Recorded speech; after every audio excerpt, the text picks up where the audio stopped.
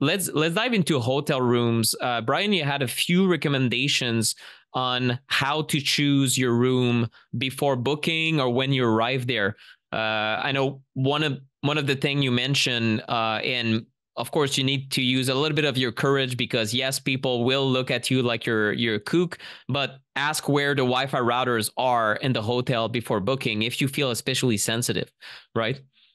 Yeah. So if you have your meter with you, um, you can if you don't want to even like talk to them, you can say, "Hey, I'm just going to walk down the hallway and and test and test something or you can just like go and walk down the hallway i often yeah. do that i just pass the front desk and i'm act like you're already checked in and you yeah. just go walk down the hallway and and test real quick and then see which which side of the hotel is going to be better and typically you want to be on the first floor because the lowest floor you're you're not as exposed to the wireless signals like the radio and the television signals. Like you're like the more you can see the better view you have the the also it means the better view that the antennas have of, of your hotel suite and like the building and everything. So if you're down lower it's kind of like living in a valley but also having all these building other surrounding buildings that are blocking and filtering a lot of the wireless frequencies from antennas that are out of sight so ground floor is better typically and then figuring out where they put the Wi-Fi routers and asking them like, "Hey, are the Wi-Fi routers located here?" Also, I don't want to be in a room that's next to a utility or mechanical room because sometimes the electrical will all be going like in that one area. You don't want to be in a hotel room that's like right next to all the electricity for the entire hotel. So that's where the the meter is really important because you can test the magnetic field, you can test the Wi-Fi all at the same time in one go and you know for sure if you're going to be in an extreme situation or just a semi okay situation. Yeah, and you also mentioned when it comes to the location, sometimes near the middle of the hotel could be helpful if the room is you know separated with layers and layers and layers of different bu- buildings uh, building materials. You mentioned marble granite concrete appliances other people absorbing the ems for you. Thank you guys. Uh, but you know if you have your room that is not right next to a tower or to multiple towers it could be it, it could be cleaner. So it's just ideas to try to find a cleaner room. But again if you find your room is not clean you can ask to be changed uh, if, if you feel especially sick in a room i mean you can ask to to have the room changed. Same thing with mold. I know that for certain people they're so sensitive. If they smell the mold as they enter the room they're like no i cannot you know stay here. I i gotta be uh, changed. So of course you you have to ask for what works for you. And it might it might be tough. It might be tough. I'll give you that because of course it's gonna be you're gonna be the only complaining customer among you know a hundred thousand people. Uh, but hopefully in the future there's gonna be more EMF Circle members being annoying everywhere in the world, and then it's gonna be become something normal. Um, we we talked about many different things here like unplugging um, bringing the emf uh, meter semprotech 33 and also you mentioned brian creating a biohacking checklist to make sure that you know you bring all your devices. That's something that in fact for me when i go to any sort of business travel i always make a list with check marks because i tend to forget ah, i should have brought this and that and you know uh, it just lowers my stress levels. I make sure not to forget any of these little hacks. Yeah and the checklist is important because you want to make sure you bring the right things that you don't want to forget but also you need to use that when you check out of your Airbnb or your hotel oh, so yeah. you don't leave anything behind. That's that's my main purpose for putting that on there because I've left so I've left probably hundreds of dollars worth of like EMF mitigation behind just because I forgot to unplug it from the yeah. wall. The green waves, I find that you you plug them in and then you're like you don't even see them when you check out somehow. Yeah. Uh, but you know, I want to make little flags that like with stickers, kind of like you do when it snows and like you want to know where the driveway is. Yeah. I want to do that for the like the plug-in filters so that it's like a little flag that's like, hey, don't forget me. It'll exactly. be in the travel kit if we develop when we develop that. Exactly. Well, let's take uh, a few minutes to finish here. I, I want to focus on Airbnbs.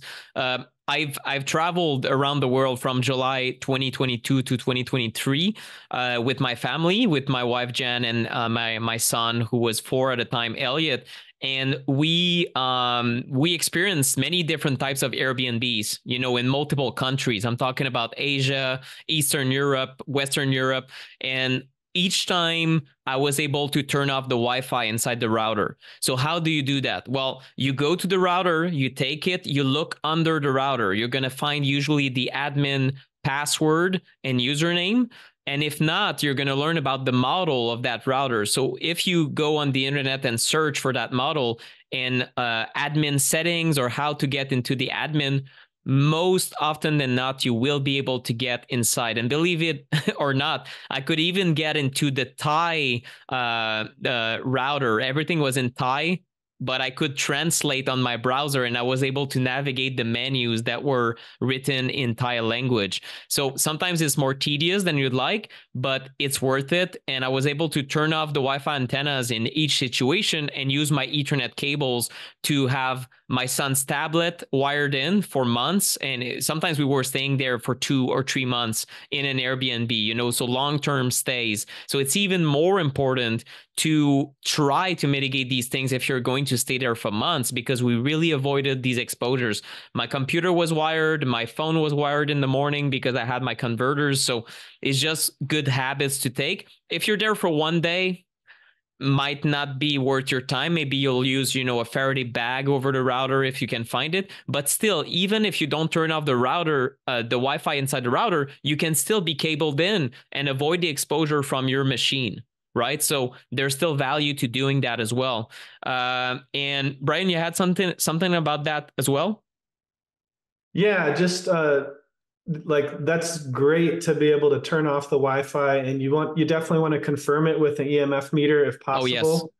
because uh, we have tested multiple times over the last few years, like new routers where you turn it off in the settings. Like I've spent like half an hour like logging into the person's router at at at a EMF home test, and then I turn it off, and it says it's off on the software, but it's still emitting from the router. Yeah. So um so some there's some models out there that don't truly turn off, and that's why no matter what, you need a test with the EMF meter uh, to confirm that you've turned it off. Otherwise, you still have the exposure and uh, and don't even have the ability to connect because because the information or the data is not sending, but the the the Wi-Fi signal still is. Yeah, and there's many reasons I, I could get on in many situations that I, I can think of where this happens. But in, in all situations, if you're not sure, you don't have a meter to verify, well, try to turn it off and then at night unplug it even yeah. if you're not sure, you know, just before going to bed. So, especially if it's a new environment, you don't know exactly what's going on, you can just, you know, unplug everything be, before bed. Or even in many Airbnbs, I was able to find the breakers and, and turn them off. Sometimes it might lead, you know, to weird problems with owners. Make sure to turn everything the way it was before if you don't want, you know, Airbnb claims and also even in hotels, you know, I'm I'm very careful of replacing things um, but you know, yeah, that's just a, a, small note, especially if you you know you turn off all the breakers and you forget to turn them back on. It, the the the owners of these places will sometimes freak out, like, "What are you doing with my electricity?" Right? It's kind of a, a bizarre thing to do nowadays. Hey, this is Nick, the EMF guy Pineault. I am the co-creator of the EMF Circle along with my colleague Brian Hoyer from Shielded Healing. What you saw today, this short video, is a preview of the longer interview that we did for our circle members. Every month we have a masterclass like one of these or a Q&A session with me and Brian most of the time. So you get personal support and attention on your EMF reduction journey. So if you want to reduce EMF because you are personally sensitive or you're just trying to take precautionary measures to better your health and minimize the risk associated with wireless and other types of EMFs, then the EMF circle is the place to be. We have a ton of archives now. We have several months worth of Q&As that you can listen back to. Everything is pre-record is recorded. You can either join live or just listen to the replay. So we have a cars master masterclass. We have a pr- free protection masterclass uh, uh, also that we did, and we're gonna have several other masterclasses moving forward. So we hope that to join us inside the EMF Circle. Just visit emfcircle.com or click the link under the video to join us. I hope to see you then.